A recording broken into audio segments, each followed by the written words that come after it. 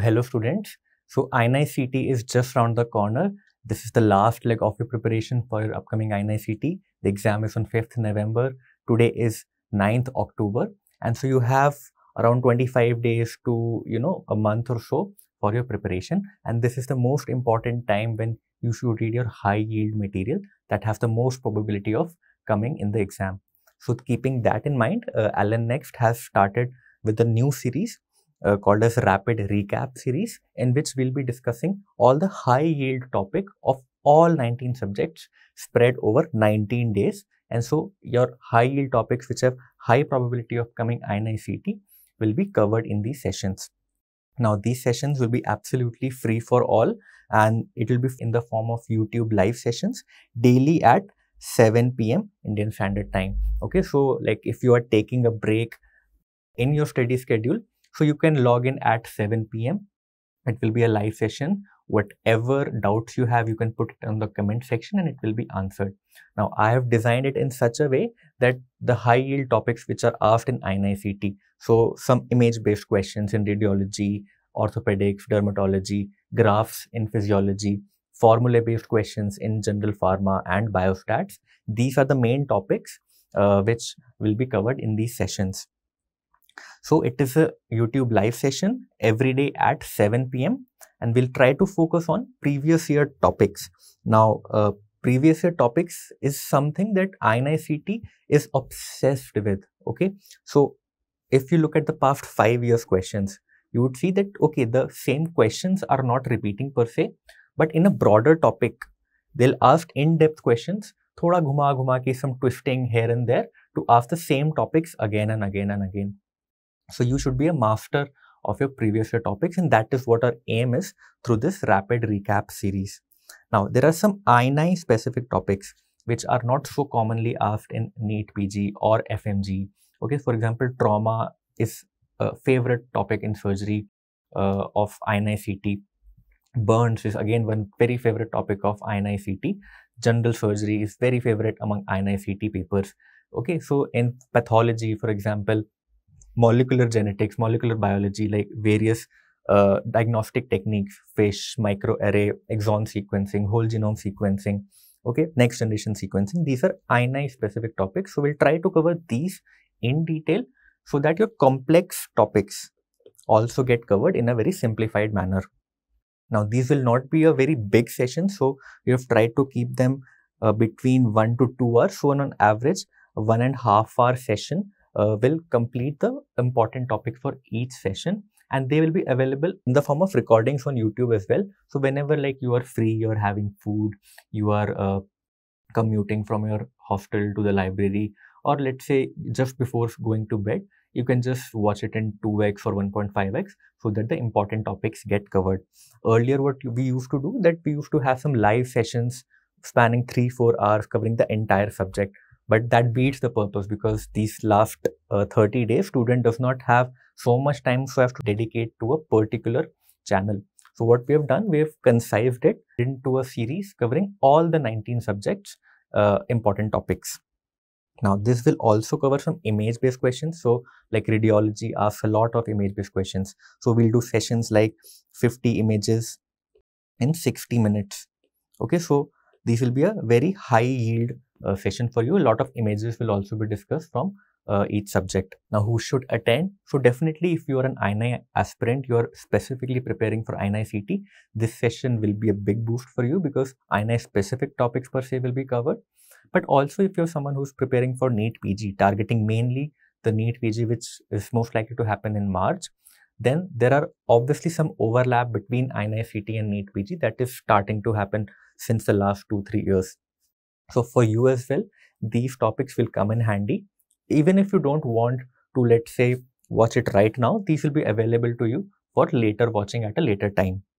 Now, take it as a source of passive learning. So whatever content you are reading, whatever notes you have in these last one month, जो कि आपने plan बनाया कि मैं ये पढ़ूंगा उसी को पढ़ो we are not saying that take this as your main content just make it as a source of passive learning so that during your free time uh, you can uh, revise some important topics.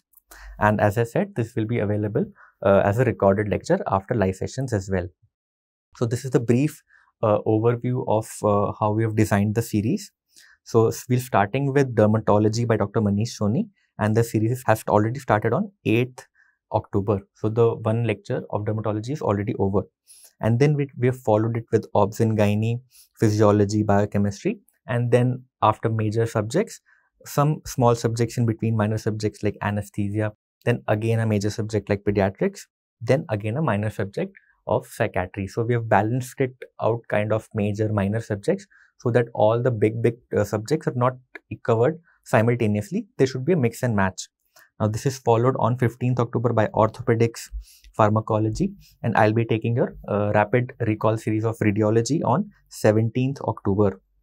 Okay, so I'll cover again 50 images, most important 50 images in radiology in one hour. So it will also be a quick revision for you guys. Now this will be followed by microbiology on 18th October, ophthalmology by Dr. Shashwat Ray on 19th October. Attend this. This will be a very high yield session.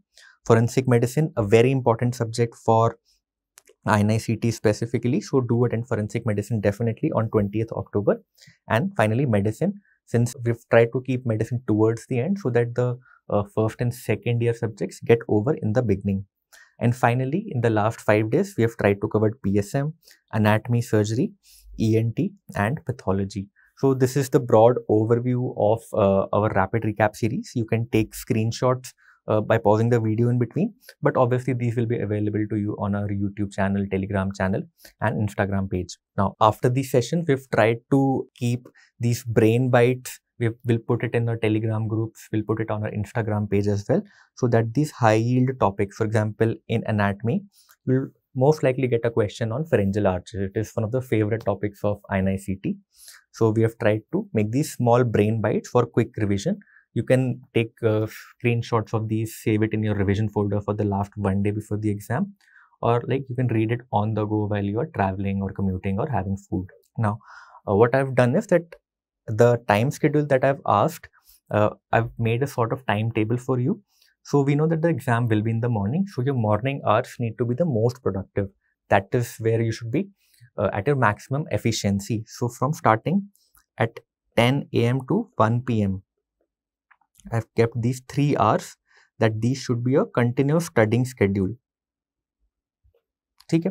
Then at 1 to 2 p.m. like you can take a break since it was a 3 hour long session your brain would be tired you can take a break in between and then another 1.5 hour session till 3:30 p.m.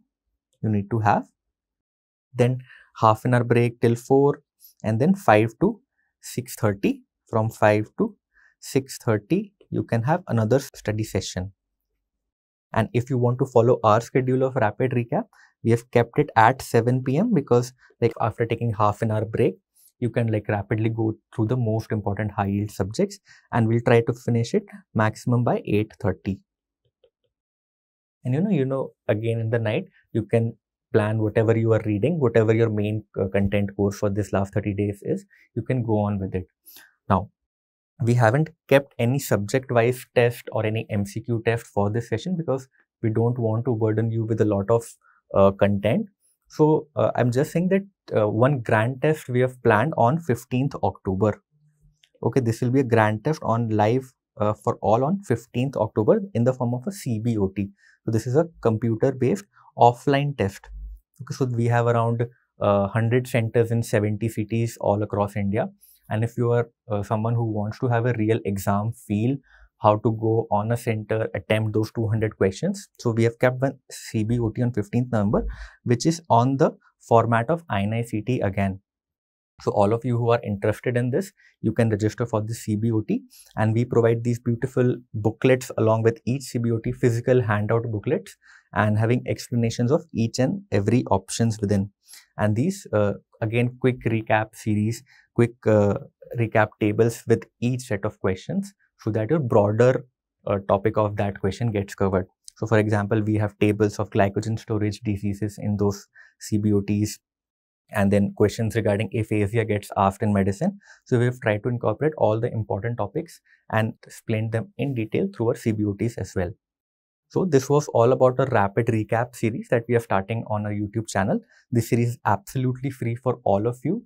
If you uh, want revision of high yield INICET specific topics, you can definitely check this out. That's all from my side. Thank you.